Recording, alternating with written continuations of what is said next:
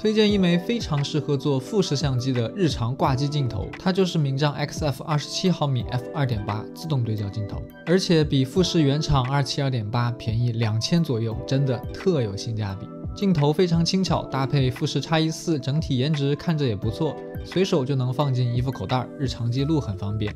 自动对焦性能也够用，拍照没有什么问题，还支持眼部对焦，拍摄视频也问题不大，响应速度不错。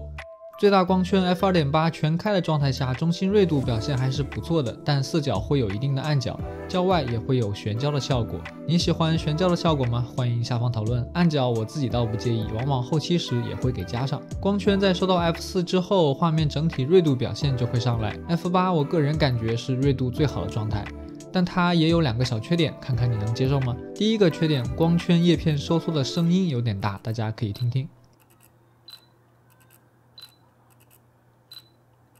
第二个缺点就是眩光问题，在正对太阳或者是灯源这些强光源的时候，这个眩光问题就会瞬间爆炸。如果没有正对，就几乎不会有影响。